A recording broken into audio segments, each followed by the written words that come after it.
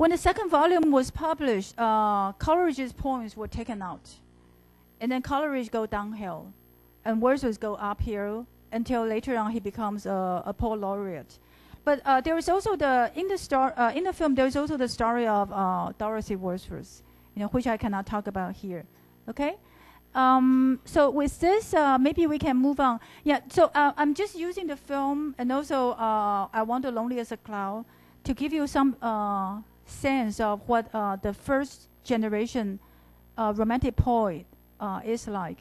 With this, let me move on to the second generation, John Keats.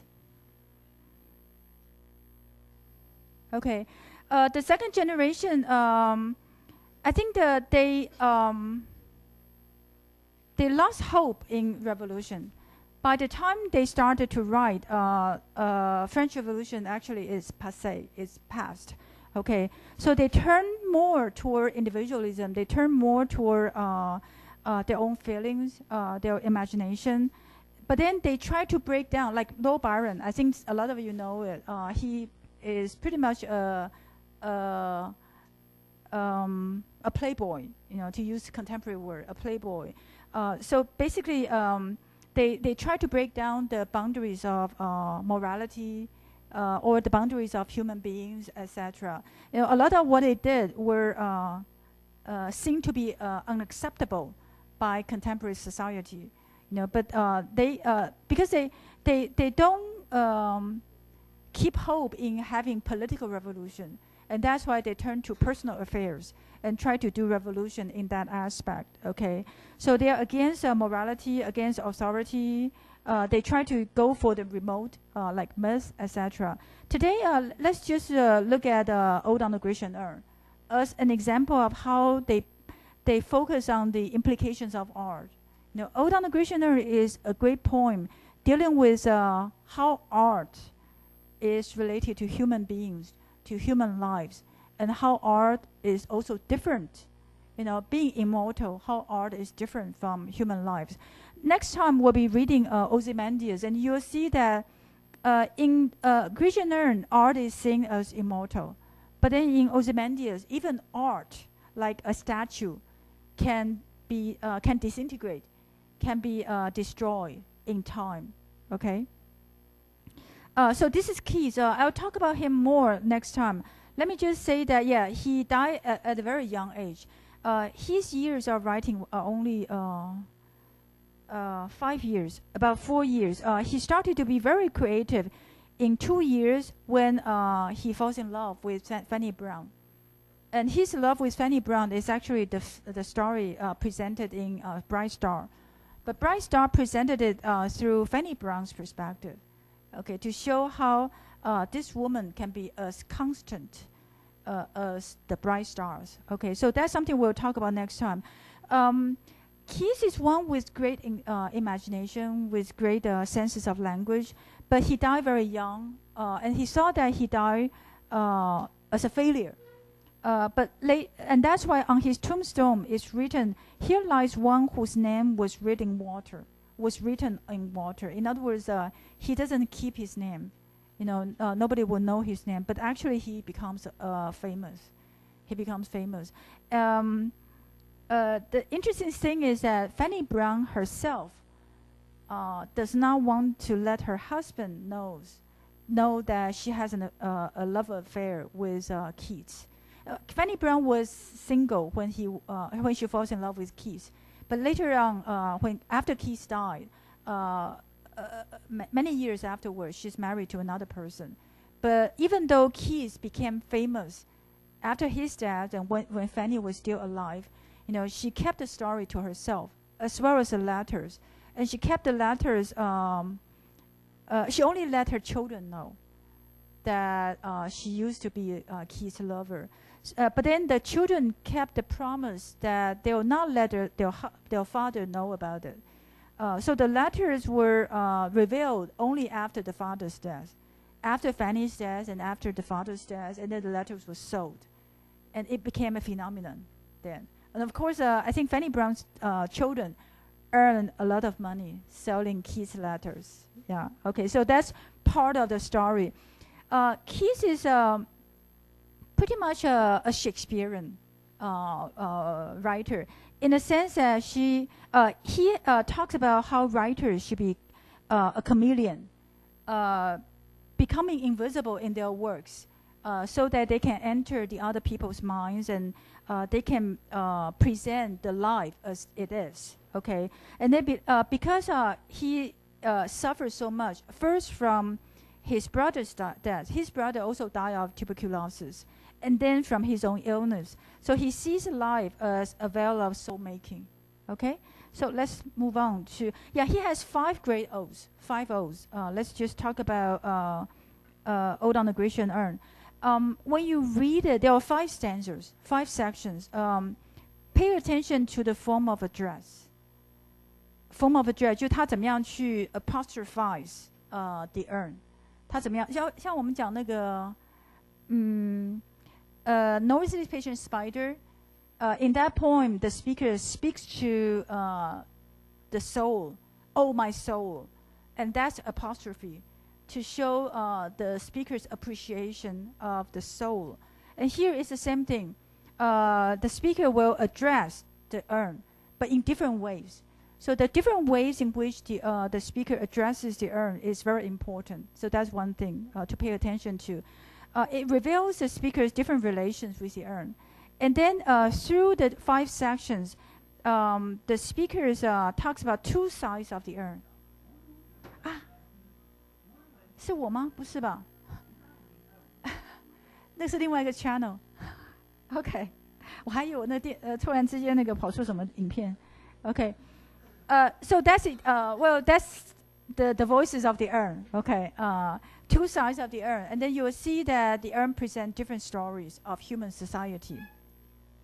And uh, the first stanza is the most difficult because uh, Keats used many uh, metaphors to describe the urn, but they are very important. They are very important. Okay, uh, and then the closing lines, uh, how we interpret them. That's another uh, difficult thing. Okay, okay. So let's begin. the the uh, actually this is not blue. The purple, sorry, I changed the colors. Uh, the purple part refers to the metaphors, and then uh, the red part, you know, suggests the sounds. How uh, there are some sound effects, and then um, the underlying part is uh, when the speaker addresses uh, the urn to raise questions, to raise questions. Okay, so thou still unravished bride of quietness thou foster child of silence and slow time, Sylvan historian, who canst just express a flowery tale more sweetly than our rhyme. So first there were three expressions, three terms of address. First, the first one is to call um, the urn unravished bride, 就是没有被侵犯的新娘. Okay, and then 养子 foster child. Okay, and then see uh, what comes after the bride the bride of quietness, 非常安静的, because the, the urn has no sound, cannot speak. Uh, and then foster child of silence and slow time. It means that the urn is a child of an artisan, of an artist, 是一个工匠或是一个艺术家的小孩. And then it becomes silence and slow time 的养子，因为 it goes through silence in silence through slow time。 OK。Sylvian historian, Sylvian 事实上和那个田园相关，那这个我不解释哈。Sylvian historian 他是田园的呃历史学历史家。It tells the histories of human society. Who can express a flowery tale？因为它是田园的，所以它那个故事本身有很多的花草。哈，More sweetly than our rhyme，就是你的故事、你的历史比我们的要更美。更好听. Okay, so here the first four lines uh, is used to address the, the urn. And then uh, the speaker asks the urn questions. Okay, what lift fringed legend hangs about that shape of deities or mortals or both? 就基本上他要问说，哎，你讲的故事到底是人的、是神的，还是都有？Okay, so that's the first question In Tempe or Dales of Arcady，Tempe and Dales of Arcady 都是那个呃田园诗的一些具呃有名的地点。好，所以这个 Sylvan 呃呃 Tempe Arcady 都是和田园诗相关。那我这边就呃典故都不提哈。What men or gods are these？他在指着那个二人上讲说，这些人的这些到底是人还是神？好，What maidens loathe？Here 这边你们看到这边的时候会觉得很奇怪，怎么会突然讲到这个？其实这个是在讲后面的故事。就他那个二流两边，一边是一个树下面有一个吹笛手，然后一个年轻人在追少女。好，那另外一边是呈现那个一个 procession，就是一个。呃，往祭坛走去的一个一一个一个队伍，好，所以是基本上这两个故事，所以他这边就会问说，哎，那边这一群这一群人到底是神还是人？好，那这边这个 maiden，好，他为什么要 lose？他为什么那个要要逃避那个年轻人？What mad pursuit of the young guy, the young man?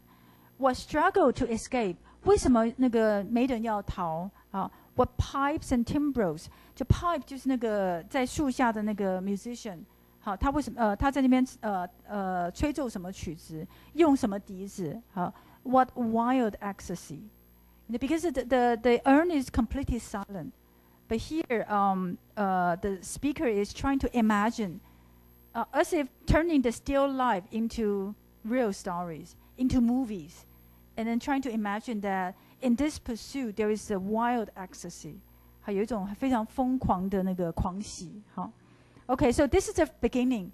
The beginning shows uh, that okay, so here there's a speaker who starts to look at the urn and look at the urn from a distance and uh, respect it, and then try to understand, you know, what the urn presents. Okay, and then in the following two stanzas, no, three stanzas, um, the, the speaker enters the urn, enter the story of the urn to try to imagine uh, what, how the stories are like. Okay, so here, this is the description of one side of the young, man, young man's pursuit of the maiden. This is a very famous line. Uh, her melodies are sweet, but those on her are sweeter. Therefore, E soft pipes play on 好，就是说他他因为看到看到那个呃 musician 在吹奏笛子，可是我们事实上听不到声音，他就说这个没有听到的声音是更更美的哈。 Therefore, e soft pipes play on, not to the sensual ear, but more endear, pipe to the spirit deities of no tone。好，就是你不是要呃吹奏给我们那个 sensual ear，就是 physical ears 听，而是要吹奏出那个。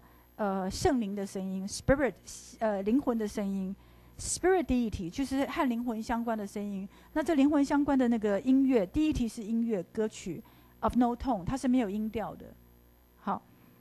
好，so here，呃，this is basically，呃，呃，呃，in the first stanza the speaker speaks to the urn，and here the speaker enters the story to speak to not just the musician but to the pipes themselves。好，所以你要想象。他那个距离不一样了，他现在好像已经到了那个那一边那个就是那个呃少年追少女的那个世界里面，然后他直接去跟这个 pipe 讲话，然后再跟 youth 讲话等等，哈，所以他就跟这边跟 youth 讲，fair youth Beneath the trees thou cannot sleep thy song，nor can 呃 nor ever can those those trees be bare。好，这个吹笛的那个年轻人，那个呃你可能你不能够离开你的音乐，好，可是呢。那个树，你你呃身上的呃头顶上的树也不会呃也不会那个干呃干枯，好也不会那个脱落，那一呃树也不会脱脱落。Bold lover, never never canst thou kiss, nor winning near the goal。好，你永远不会亲到那个少女，因为那个时间就静止在那个 moment，那个 pursue 的那个 moment，所以你永远不会亲到那个少女。啊，嗯。Though winning near the goal, yet do not grieve. 呃，不要难过，你也不要因为你不能亲到她而难过。She cannot fade，不像是那个 To His Cold Mystery，或是 Shall I Compare Thee to a Summer's Day 那两首诗里面都讲说，哎，那个呃，你的 beauty 一定会死亡。可这边这个 beauty 不会死亡。好，Though thou hast not thy bliss, forever will thou love, and she be fair. So here uh, it's presented that uh, the earth has a kind of eternity, like the poem uh, in Shall I Compare Thee to a Summer's Day? The poem has a kind of eternal summer, and here there is a kind of eternity where the young, the youth is forever, forever pursuing the, the maiden, and they are forever young. Okay? Okay, so with this so thought of eternity, the third stanza is a very happy one to confirm uh, the eternity of the urn. Okay. Ah, Happy Boughs，、呃、还是一样，他现在是在在那个呃怎么讲那个 Urn 的世界里面，所以他不是在跟 Urn 讲话，而是直接在在里面去 confirm 他每一样东西，好，包括那个树枝，包括音乐等等哈。啊，happy happy bows that cannot shade, uh, share thy leaves, your leaves, no ever bid the spring adieu，永远不会跟春天说再见。啊、uh,，and happy melodies, unwearied, forever piping songs, forever new。呃、uh,，more happy love，他先先是讲那个树，然后再讲音乐，然后再讲爱情。好，more happy love, more happy happy love。那这个 repetition 哈，事实上是要呃 exaggerate 它的 happiness。 可是这个 happiness 不是 the ending 哦，好，不要忘记，就这个 happiness 只是在中间，那之后它马上又一转回到 human society。好。uh, forever warm and still be enjoyed, forever painting, uh, painting and forever young, or breathing human passion far above above。好，这些呈现的 human passion 都是在高高在上的。好，这边就有一个 turning point 了，这边很重要哦。All human passion far above that leaves a heart high sorrowful and cloy, a burning fury and a parching tongue。好，所以就这个二人上呈现的是一种。呃，eternal moment，好，可它不会呈现什么呢？它会忘记什么呢？人在爱情中间的时候，会有一个呃充满悲哀，然后整个心都纠结在一起的一个一个一个心一个心情，好，or a burning fury，就是那个焦头烂额，好，or a parching tongue，那个行归什么行枯骨考，是不是？OK，anyway，you know，呃，all the sufferings below。you know, will not be kept in this urn, will be forgotten when the moment is frozen. OK，所以那个呃《g r e c i a n 这首诗事实上非常非常有趣。它最有趣的地方就是在讲说艺术怎么样保留一个 eternal moment。 好，可是这个 eternal moment 不见得是我们人会经历到的。就我们在人人在时间之流的时候，我们会感觉感受到很多痛苦，很多 passion，是艺术。不能够完全呈现，它只能够尤尤其像这个叫做呃，graphic art，就是那个 plastic 和 graphic art，就是呃平面的和立体艺术，它呈现的都是 frozen moment，不像是小呃小说，小说和诗，小说和诗它是那个 linear art，它有它可以讲故事，好，可是像雕刻、绘画，它们都是 graphic 或是 plastic art。他们呈现的只是一个 frozen moment。不，当然你可以讲说，事实上绘画它有它自己的传统，它可以在呃一个 frozen moment 一个 frame 里面，呃借由空间的安排讲一个故事，那是另外一个一一件事情。可是我们讲不同艺术的分野，那个 painting 和那个 sculpture，他们的确是就是呃比较呃静态，比较静态。那那个电影、小说、诗。是比较动态的艺术，好，所以他这边就开始讲这个 contract，就是 eternity 和 human sorrow 之间的关系，哈，因为这样的关系，他就 turn around to the other side to look at human 呃 human story，human society society，OK，from another perspective。他前面一个 perspective 是 from 呃就是 eternity，那这边他要把这个呃呃 frozen moment get bring back to the flow of time，好，把它带回那个时间之流来，哈。Who are these coming to the sacrifice？他这边看到那个 procession，就祭祀的行列哈。他就说：“哎，这些人是谁？他们那个呃要去那个，他们到底是谁要去呃要去祭祀？To what green altar, O mysterious priest, least thou that heifer lowing at the sky, and all her silken flanks with garland dressed？好，就是那个嗯。”呃，他这边是在问那个 priest，就前面有一个祭司或者是一个对祭一个祭司，他说那个，哎，你带的是哪一些人要去那个祭祀的场所？好，然后你要去的是哪一个 altar，哪一个神坛？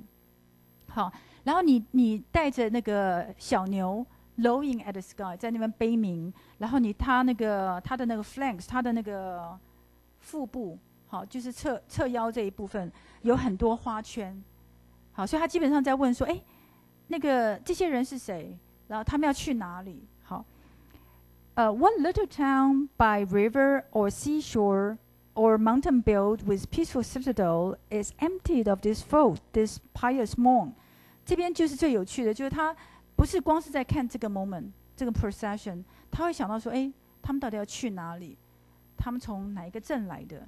好，那个这个镇，这个城镇是不是 empty？好，emptied of this fold, this pious moon。所以他在想想前想后，就是时间之流。好，所以他刚刚在呃赞美那个那个另外一景的时候，他是说，哦，你们有你们你们会 forever young。可这边的时候，他事实上想到的是说。哎，这个这些 procession 它就在这边停住了，那那个城镇怎么办？好，那那个 altar 呢在哪里？好，再讲再讲这个前后的故事哈。And little town, thy streets forevermore be will silent be, and not a soul to tell why thou art desolate, ne'er 呃 can ne'er return。这边的意思是说，not a soul can ever return to tell why thou art desolate。 好说，哎，这小城镇。不会，你你会永远的永永远的是一个空城，好，没有一个人会回来，呃，讲说为什么你是空城，好，所以这个完全是另外一个 perspective。好，我们再看最后一个 stanza，我们马上结束了哈。Oh，呃，at shape，fail attitude，你看这边的时候那个 earn 哈就不是人喽，在第一个 stanza 的时候，earn 被呃 personified 成 bride，foster Historian 是人。好，来帮忙讲人的故事。那这个时候，earn 就变成是一个 artifice，是一个 shape，是一个 attitude。好，所以这个时候 suggest 那个这个 speaker 开始要把自己和这个 earn 分开，呃，bring a distance between the two of them。OK，呃，with breed of marble man and maiden。所以刚刚是 use maiden，现在变成 marble man and maiden，也不一样了。好，变成是只是那个 pattern，就是 urn 上的 pattern。他刚刚那个进入的时候，进入这个 urn 的时候，他把他们当真的人看，把当真的树。那现在就变 marble man and maiden。With forward branches and trodden weed, thou silent form，还是一样 shape, attitude, form。好，does tease us out of thought as does eternity, cold pastoral。好，你会嘲笑我们，因为我们是 mortal。你们是 eternal，你是 eternal 的。好，所以这时候他就讲说，这个呃，earn 它就是一个 co-pastoral，它呈现了田园之景，很美丽，可是是冷淡的，是冰冷的。When old age shall this generation waste，就是这个我我这个时代，当我要老去的时候，啊，waste my generation，好，呃，thou shall remain，我将来会老去，我会不见，可是你还会在。In midst of other woe than ours。你会在其他的人世的悲哀中间存在。A friend to man to whom thou sayest, Beauty is truth, truth beauty. That is all you know on earth and all you need to know. 好，你会永远的存在，然后你永远会跟我们讲，to to all to all。好，那 to to whom 就是你是会是人类的朋友，然后你会跟我们讲说，Beauty is truth, truth beauty。 好，这边那个光看这一句，好像就是一个 epigram，好像是一个真理哦。美就是真，真就是美，好，真善美，好像没有什么深意。好，可最有趣的是他最后讲说，That is all you know on earth and all you need to know. In other words, uh, human beings may know more than this. You know, we know human sorrows. We understand the uh, the errors and uh, uh, ideals and uh, everything. Okay, but then uh, the Grecian urn as a work of art embodies beauty. And for this Grecian urn, beauty is truth. But for us, there are other different kinds of truth and lies and everything else. Okay, so um, 你们看一下你们的那个呃 anthology 上哈，这边其实那个 punctuation 又 matters。 你记不记得那个上次我们讲那个 death be not proud，它到底是分号还是逗点，会有不同的含义。那那个呃 Emily Dickinson 他的诗到底有没有 dash，会有不同的含义哈。那这边哈，你们看那注解会讲，它这个有没有 quotation mark 会很不一样。好，如果有 quotation mark，好像是 earn 直接讲的，就甚至可能是说这个 earn 上面就写的这个字，beauty is true, true is beauty。可是如果没有 quotation mark，可能是这个 Paul 这个 speaker 自己讲的。speaker 说：“哦，你就代表这个，你就跟我们讲这个。”好，那所以有没有 quotation mark 事实上有差别。Okay, okay. Uh, just a conclusion. Finally, um, you know, you, you really uh, need to pay close attention to the development and the changes in uh, the use of apostrophe to address the urn in different ways, as human beings or as an artifice. And then uh, also pay attention to the process. Uh, first, asking questions, bringing the, uh, his own attention to the urn, trying to hold the dialogue with the urn as a whole, and then empathy，empathy 是深入。我们讲 sympathy 是同感心，empathy 是你觉得好，你好像就是他，你能够进入他的心情。好，so actually it's a kind of empathic process that this speaker goes through to enter the world of the urn, uh, to confirm the urn, but then also and then to draw a distance between the, the, the speaker and the urn, to, to, to show us that the work of art can say a lot to us, but then after all, they are different. They are different from us because we human beings are mortals. Yeah. Okay, uh, that's it for today.